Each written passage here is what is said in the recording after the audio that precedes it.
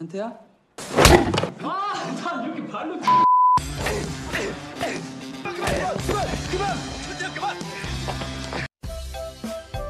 Hai semuanya, selamat datang kembali bersama Mimin di Jalangan Film. Apa kabar kalian? Semoga kalian semuanya dalam kondisi yang baik ya. Dalam video kali ini, aku akan menceritakan satu buah film yang sangat menarik. Film ini berjudul Boys B2. Kita akan menyaksikan petualangan tiga sahabat yang bernama Seon John, Hyun Tae, dan Kim Bum yang menjalani kehidupan penuh tantangan sambil menjaga persahabatan mereka. Tanpa basa-basi, langsung aja kita melebur ke ceritanya. Film ini dimulai dengan adegan perkelahian seorang remaja bernama Seong Jin. Ia berhasil dengan mudah mengalahkan lawannya.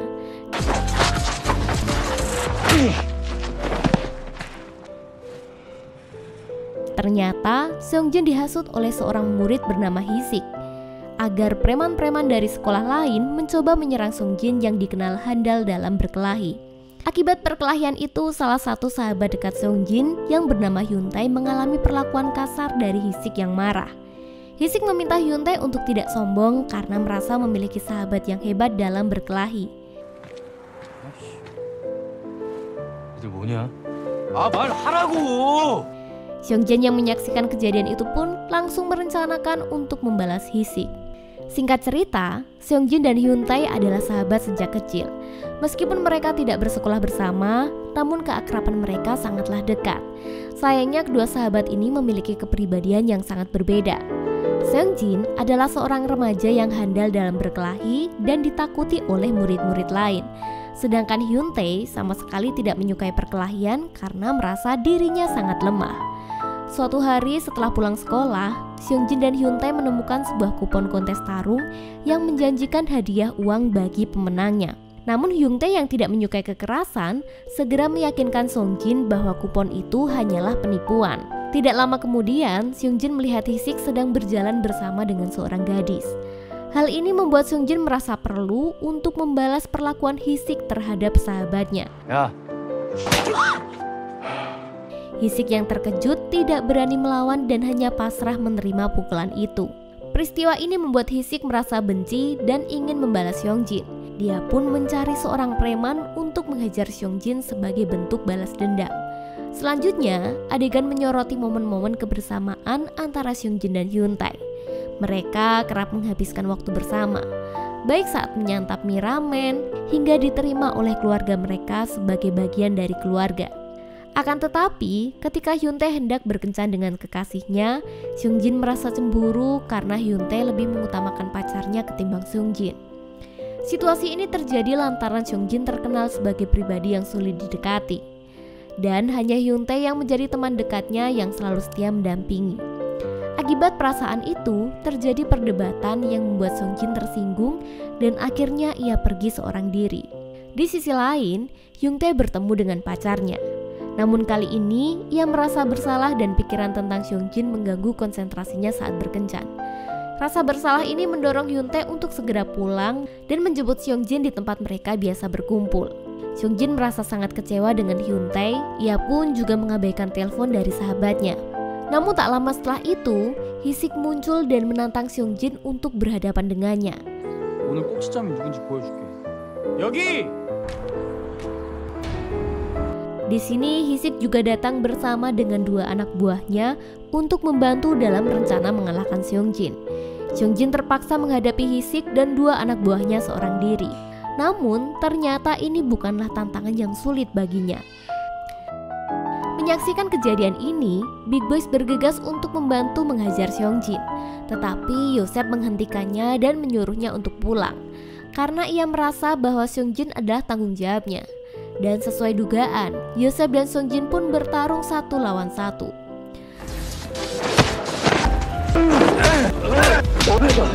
Pertarungan antara Yosef dan Song Jin berlangsung sengit. Song Jin bahkan berhasil menangkis pukulan curang Yosef yang menggunakan batu. Sayangnya, tiba-tiba Big Boy muncul untuk menyelamatkan Yosef. Akhirnya, dimulailah pertarungan seru antara dirinya dengan Song Jin.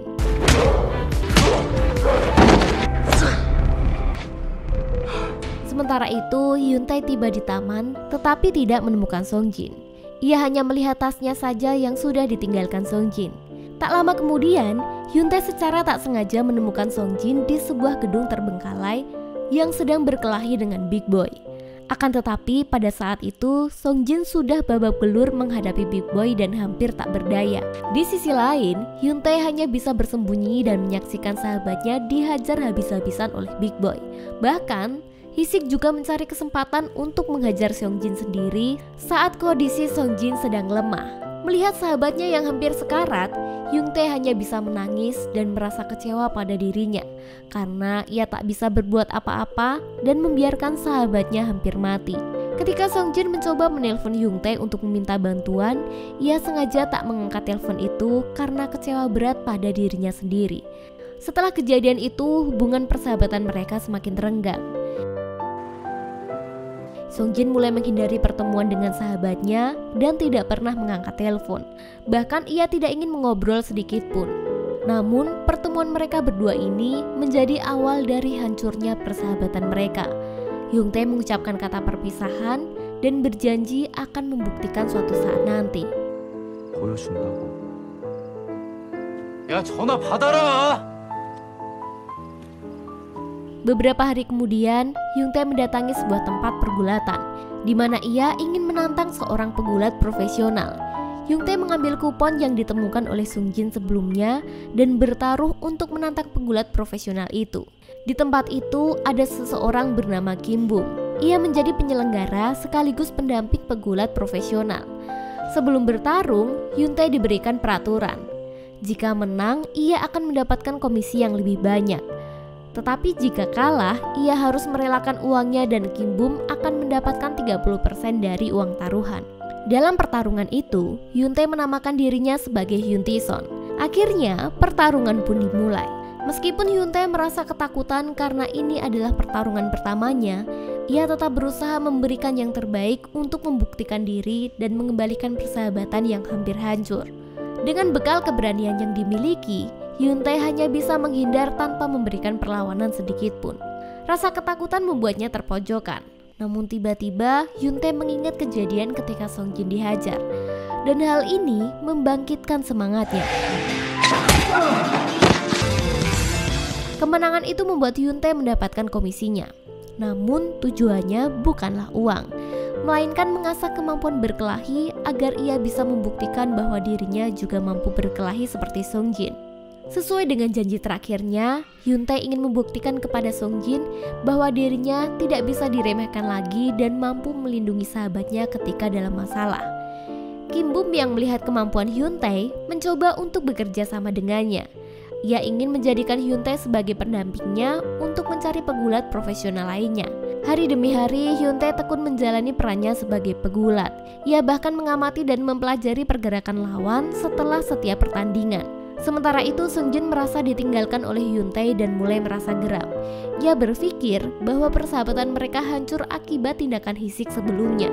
Sehingga ia ingin menghajar anak buah Hisik yang ia temui di jalan untuk meluapkan kekesalannya. Tindakan Song Jin ini membuat Hisik mulai mencari keberadaan Song Jin dengan mendatangi Hyun Tae di kelasnya. Namun Hyun Tae tidak tahu apa-apa dan hanya bisa diam. Ia tidak melawan sedikit pun. Ia sengaja menyembunyikan kemampuannya agar murid-murid lain tidak mengetahuinya. Karena ia tidak mendapatkan informasi yang diinginkan, Hisik akhirnya meninggalkan Hyuntae. Suatu hari, Song Jin memergoki seorang gadis di kelasnya yang sedang ingin menaruh sebuah surat di tasnya. Gadis itu bernama Hyeon. Namun, Hyun mengelak dan mengatakan bahwa surat itu diperintahkan oleh gurunya untuk diberikan kepada Song Jin. Song Jin yang merupakan pria peka dan kebetulan sedang membutuhkan teman, mengajak Keon untuk menongkrong bersama di malam hari. Keon sangat senang dengan ajakan itu, hingga ia sampai mabuk di malam indah itu bersama dengan Song Jin. Di sisi lain, kisah Hyuntae mengambil arah yang berbeda. Ia terus mencari petarung-petarung hebat untuk mengasahkan kemampuannya. Kim Bum akhirnya menemukan seorang lawan tangguh dengan harga yang cukup tinggi. Menurut rumor, lawan tersebut tak pernah dikalahkan. Dan Kimbu menduga bahwa lawan itu menggunakan obat-obatan terlarang. Seperti yang sudah diperkirakan, lawan meremehkan Yunte karena penampilan fisiknya yang tampak kurang meyakinkan. Namun Kim Bum tetap percaya bahwa Yunte mampu mengalahkan lawannya. Pada awal pertarungan, Hyuntae merasa terdesak oleh serangan-serangan yang diterimanya dari lawannya.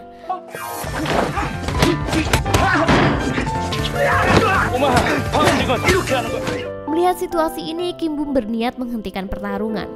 Namun secara mengejutkan, Hyuntae mengembalikan keadaan dengan serangan kaki yang membuat posisinya lebih menguntungkan. Ia mengeluarkan seluruh kemampuan dan amarahnya untuk menghabisi lawannya. Kejadian ini membuat Kim Bum dan teman-temannya terkejut dengan keberhasilan Hyuntae yang mampu mengalahkan petarung yang belum pernah terkalahkan sebelumnya.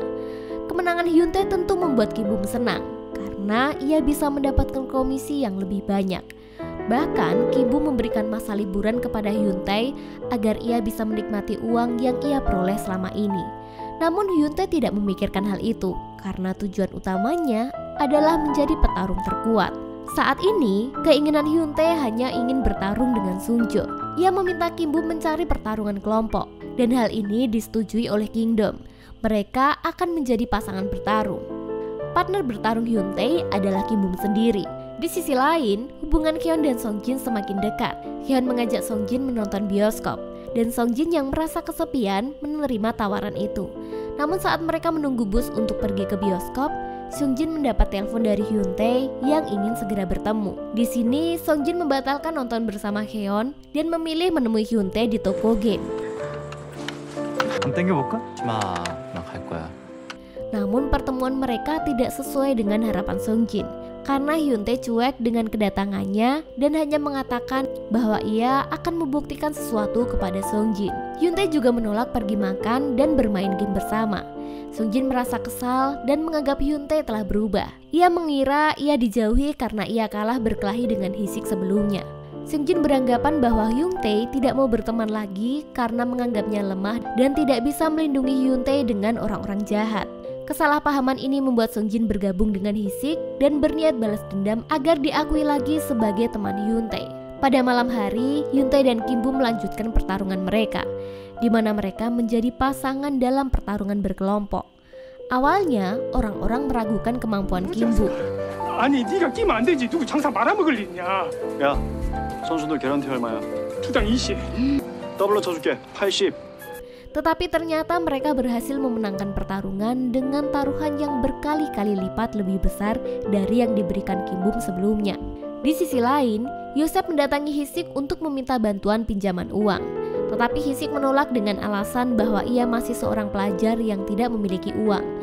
Namun setelah Yosef pergi, Sojun datang dengan amarah yang meluap-luap dan mengajar Hisik habis-habisan. Kejadian ini membuat Hisik berubah pikiran dan menelpon kembali Yosef untuk meminta bantuan.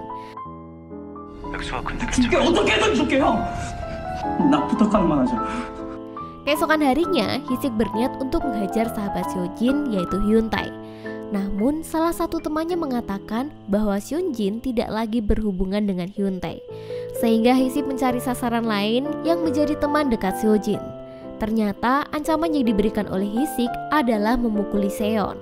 Benar saja, ketika Sujin ingin pergi menonton bersama Hyun, tiba-tiba Hyun datang dengan wajah yang babak belur. Melihat orang terdekatnya menjadi korban, Sujin dan Hisik menetapkan tanggal dan tempat untuk bertarung kembali. Mendengar hal itu, Hyuntae juga menemui Seunjin untuk mengatakan bahwa ia membutuhkan sesuatu. 내일 희식이 만난다면 네가 신경 쓸 일 아니야. 전에 내가 말했지. 보여줄게. Pada hari pertemuan Seungjin dengan Hisik, suasana tegang menyelimuti lokasi. Seperti biasa, Hisik datang bersama dengan anak buahnya dari Big Boy. Seharusnya Yosef juga hadir, tetapi ia mengalami masalah dengan bosnya di kantor sehingga tidak bisa datang dan diwakili oleh Big Boy saja. Dalam pertarungan itu, Songjin tidak ingin berkelahi dengan Hisik, melainkan memohon agar Hisik hanya menghajar dirinya saja, asalkan tidak ada perseteruan lagi di antara mereka dan tidak ada ancaman lagi bagi orang-orang terdekat dengan Songjin. Namun Hisik tidak menuruti permintaan Songjin dan tetap melancarkan pukulan demi pukulan kepada Sojin. Yosef yang baru datang merasa kaget melihat kekalahan Sojin. Tak lama kemudian, tiba-tiba Hyuntae datang dengan memakai topeng kepala kuda yang biasa Songjin pakai ketika menyelamatkan Hyuntae.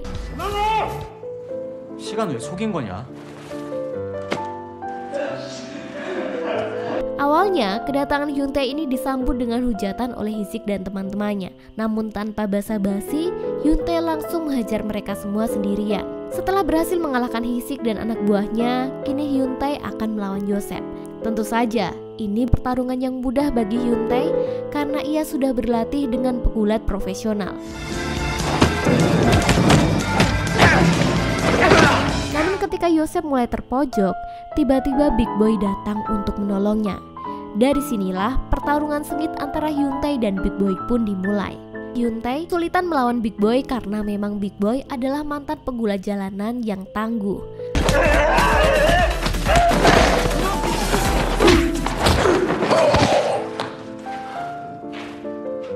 Sementara itu, Hyuntae mulai terpojok oleh Yosef. Kim Bum berusaha menolong Hyuntae. Namun sayangnya, Big Boy datang untuk membantu Yosef dan membanting Kim Bum hingga sendi tangannya patah. Kim Bum pun hanya bisa terdiam sambil dihajar oleh Big Boy. Pertarungan kini hanya tinggal antara Hyuntae yang lemas dan Big Boy yang tak kenal ampun. Hyuntae hanya bisa pasrah saat dihajar habis-habisan oleh Big Boy. Seonjon yang melihat temannya dihajar mengumpulkan kekuatan untuk bangkit dan berusaha menghentikan perkelahian itu. Nah, dari sinilah Sonjon menyadari bahwa sebenarnya Hyuntae melakukan pertarungan demi menjadi lebih hebat agar bisa bertarung dengan Sojon.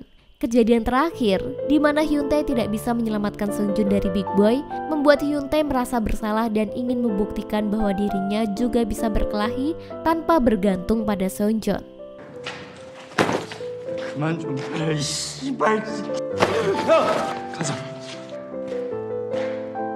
Setelah menghadapi begitu banyak cobaan dan konflik, hubungan mereka pun akhirnya kembali erat. Son-jun, Hyung Tae, dan Kim Bum kembali menjadi sahabat baik seperti dulu. Mereka saling memaafkan dan menyadari pentingnya persahabatan mereka. Dalam perjalanan ini, Sonjon, Hyun Tae, dan Kim Bum telah membuktikan bahwa persahabatan mereka tidak hanya sebatas kata-kata. Dan film pun tamat.